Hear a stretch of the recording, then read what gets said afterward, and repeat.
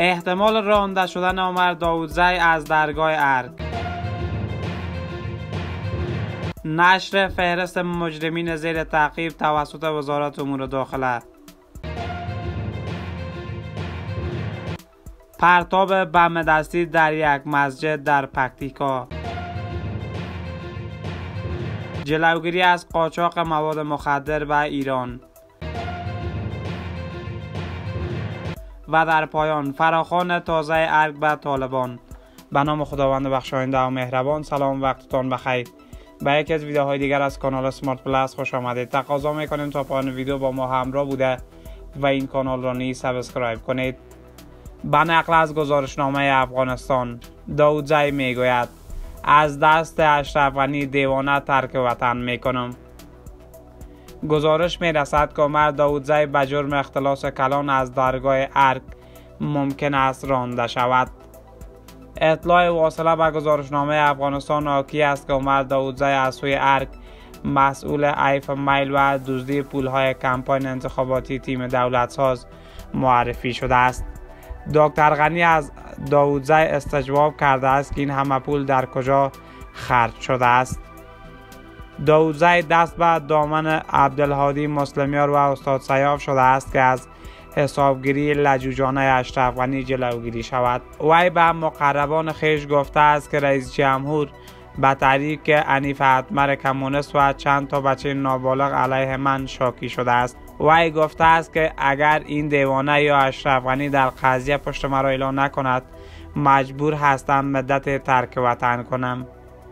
گزارش مشعر است که بالای عمر داودزه اتهام عیف میل 10 تا 15 میلیون دلار وارد است و به دلیل تشکیل دفاتر خیالی کمپاینی هیچ وجوه مصرفی قابل قناعت نیز ارائه نکرده است. انگشت اتهام زمان متوجه داودزی شد که میزان جمعآوری آرا برای انتخابات اشرف غنی به حیث برنده بسیار بسیار پایین بود. و هم مجبور شدند 300 هزار رای مشکوک را به آن اضافه کنند که در نتیجه رسوایی بزرگ به میان آمد. این در حالی است که داودزی پیوسته از طریق افراد خیش آوازه انداخته است که قرار است اشرف غنی او را به مقام مشاوریت امنیت ملی تقرر قائل شود و گاه آوازه می اندازد که وی قرار است بر ریاست ارگانهای محل و به سفارت افغانستان در پاکستان منتصب گردد.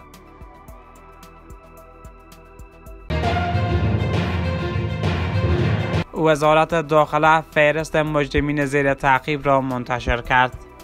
وزارت داخله لست 41 نفری مجرمین زیر تعقیب را منتشر کرد. و گزارش اسپاتنیک این افراد به اتهام دزدی های مسلحانه باجگیری و آدمربایی زیر تعقیب نهادهای امنیتی افغانستان قرار دارند.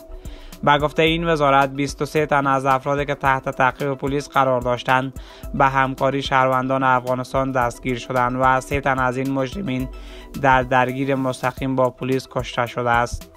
وزارت داخله از شهروندان افغانستان خواسته است که در دستگیری این افراد با پلیس همکاری کنند. همچنان ابو مسلم شهزاد روی صفحه فیسبوکش نگاشته است. وزارت امور داخله به مردم. حامد غنچو مسعود قچی امرودین زلزله حشمت سیاه ولی شوربازار حامد گلخور متین گذرگاه صدیق جان کلول حسیب سرخه نقیب دیدانا امید تکانه تحت تعقیبند. با پلیس همکاری نمایید.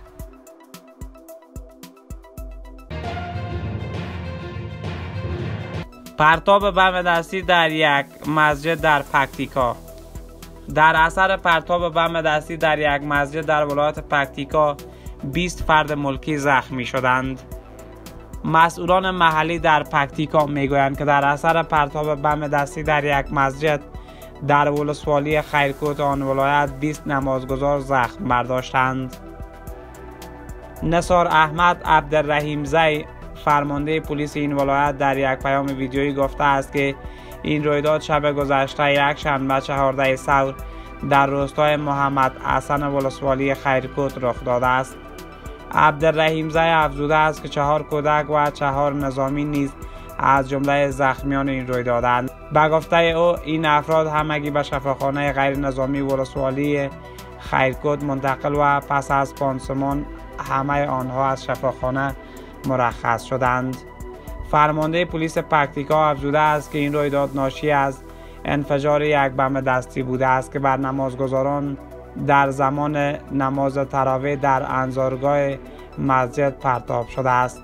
او تاکید کرده است که پلیس تحقیقات خود را در مورد چگونگی وقوع این انفجار آغاز کرده است. تا کنون شخص و یا گروه مسئولیت این رویداد را به عهده نگرفته است. اما در این ولایت نام در شرق کشور گروه طالبان و شبکه حقانی حضور و فعالیت گسترده دارند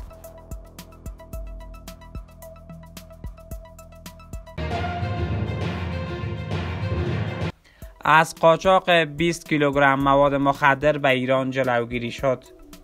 اطلاعات روز هرات مقام های امنیتی در ولایت هرات می‌گویند که حدود 30 کیلوگرم مواد مخدر را در منطقه سفری مرز اسلام قلعه کشف کردند. عبدالله نورزای فرمانده پلیس هرات امروز دوشنبه 15 سور در یک نشست خبری گفت که این مقدار مواد مخدر شامل کرستال و هیروئین می باشد که به منظور قاچاق به ایران در یک اراده موتر نو تیلر جاسازی شده بود. آقای نورزای افزوده است که دو نفر را در پیوند به قاچاق مواد مخدر بازداشت کرده است. بر اساس آمار پلیس هرات طی 45 روز اخیر 192 کیلوگرم مواد مخدر در این ولایت از سوی نیروهای پلیس کشف و ضبط شده است. پیشتر فرمانده پلیس هرات بر روزنامه اطلاعات روز گفته بود که قاچاقبران مواد مخدر می‌خواهند از هرات به عنوان گذرگاه ترانزیت مواد مخدر استفاده کنند.